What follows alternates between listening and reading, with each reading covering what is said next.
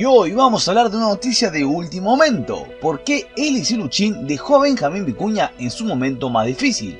La joven de 32 años tomó la decisión de separarse mientras el actor chileno aún lidia con el drama de la salud de su padre, internado en Santiago de Chile.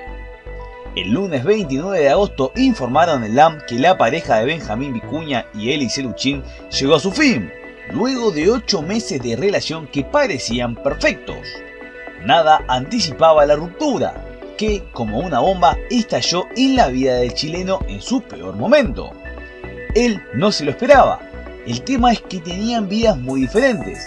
Benjamín está laborando en Chile y ocupándose de su papá, que estuvo con algunos problemas de salud.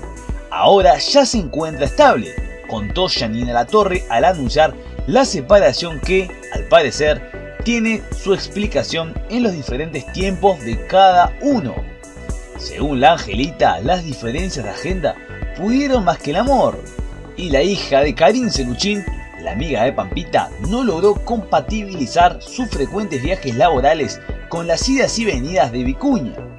Más en las últimas semanas, cuando el hombre debió volar de urgencia de Buenos Aires a Santiago para acompañar a su papá, internado por un severo cuadro de salud en la clínica Los Condes.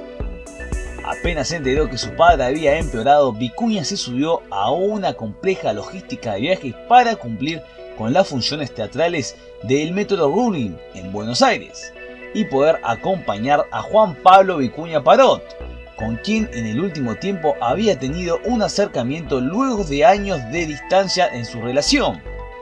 La verdad que es muy triste la separación, ya que parece Elise Luchín no se bancaba la distancia ni los tiempos de Benjamín Vicuña por su parte, el actor chileno decidió poner en prioridad la salud de su papá, poder cuidarlo y estar cerca de él. Ahora te queremos preguntar y deja tu comentario. ¿Qué te parece la actitud de Benjamín Vicuña de decidir pasar un tiempo con su padre por su grave estado de salud y no quedarse en Buenos Aires? ¿Te parece que el chileno decidió bien? ¿Te parece que lo decidió mal? Queremos leer tu opinión al respecto.